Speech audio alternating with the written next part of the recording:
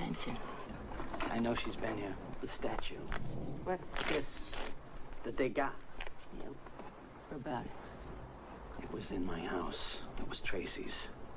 What the hell have I been telling you? Am I talking to my shadow? You Sherlock Holmes with this statue.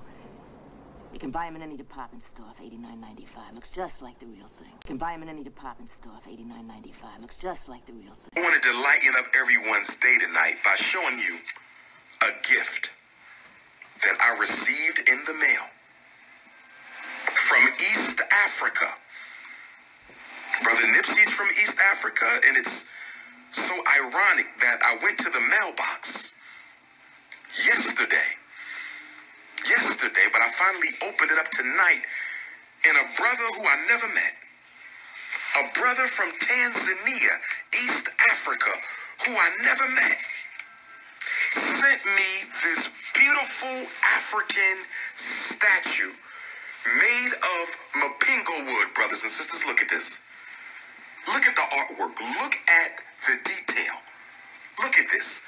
A brother who I don't even know spent his own Tanzanian money to send Dr. Umar a custom made, custom made statue of our ancestors, an ancestral tree. And for those of you who don't know, this is made out of mpingo wood. M P I N G O. Mpingo wood. Mpingo wood is one of the hardest, strongest woods in the world. It is one of the heaviest woods in the world. And if memory serves me correctly, it only grows in Tanzania. It only grows in Tanzania. This wood is so strong, brothers and sisters. You cannot drive a nail through it unless you first drill into it. You cannot screw into this wood unless you first drill into it. Now I got checked out, you know, but I'm not sexually active. I'm celibate. But I, you know, I got a clean bill of health. Now I got checked out, you know, but I'm not sexually active. I'm celibate. But I, you know, I got a clean bill of health. You cannot screw into this wood.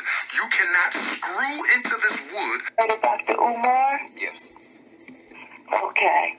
Well, I, um, I, uh, I connected with him over the phone, and he came to see me, but I didn't get a chance to tell him the story because, um, I just, like, one thing about me is I'm very, I guess I'm too accommodating.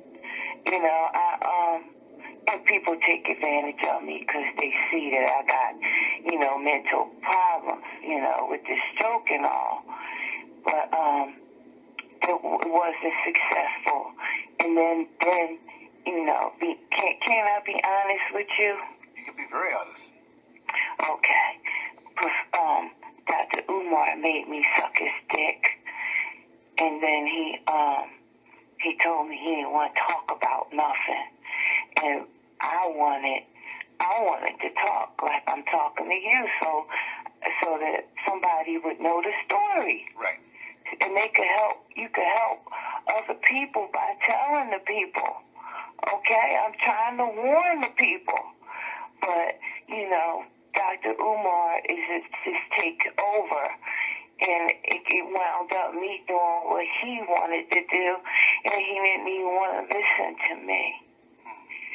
But anyway, man. The man is a fake ass nigga. And I want my motherfucking money. He will not stop. He is insane with his shit. You need to watch out and not uh, receive the things that he say. Ain't nowhere in the world I let him tell me nothing about my children when he's out there being a perverted man, looking and messing with children and women. I wouldn't give him shit. And I have documentation to prove what I'm saying. The man is not legitimate at all. He is not a legitimate person. And who gives a damn if somebody got a fucking doctor's degree when they don't know how to treat a human being? He ain't man enough to cover his own shit.